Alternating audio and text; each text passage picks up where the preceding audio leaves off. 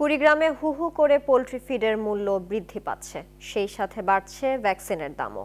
সেই অনুযায়ী ডিমের দাম না পাওয়ায় ধস নেমেছে পোলট্রি খামারিদের ব্যবসায়। বন্ধ হওয়ার পথে বেশ কিছু খামার। খামারিরা বলছেন, এই ব্যবসা টিকিয়ে রাখতে ব্যবসায়ীরা এই খাতে সরকারের কঠোর নজরদারি দাবি জানিয়েছেন। হুমায়ুন কবির সূর্যর পাঠানো তথ্য ও ছবিতে ডেস্ক রিপোর্ট।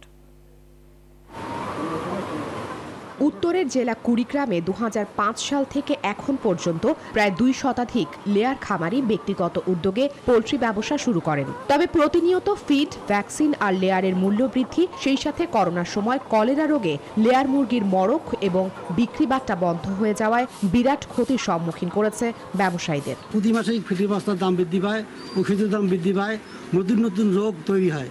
কিন্তু এগুলো প্রতিষেধকের কোনো ব্যবস্থা নাই। তিন দশ হাজার টাকা লস হচ্ছে।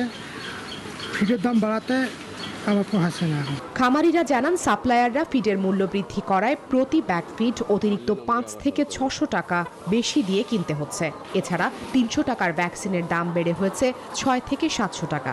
ফিড ঔষধের দাম বেশি হওয়ায় এই খামারিরা লাখ লাখ টাকা ঋণ নিয়ে তারা খুব লোকসানে পড়তেছে। আন্তর্জাতিক বাজারে ম্যাটেরিয়ালসের মূল্য বৃদ্ধি দেখিয়ে কোম্পানিগুলো দাম বাড়িয়েছে বলে জানান সংশ্লিষ্টরা। যে আগের লভ্যাংশ এখন লভ্যাংশ অনেক কমে গেছে। আর আমরাও তো লোন নিয়ে ব্যবসা করতেছি। এভাবে যদি ব্যবসা চলে তাতে আমরা প্রচুর পরিমাণে ক্ষতিগ্রস্ত দেশের বাইরে থেকে আমদানি করা যে খাদ্যের কাঁচামালগুলো, এগুলোর দাম বৃদ্ধির কারণে। এবং আরও একটি কারণ হচ্ছে তারা একদিন বয়সের বাচ্চাটা কিনতেছে খুব উচ্চ মূল্যে। যেটা দাম নিয়ন্ত্রণ করা গেলে মনে হয় তাদের লাভটা বেশি নিশ্চিত করা যাবে।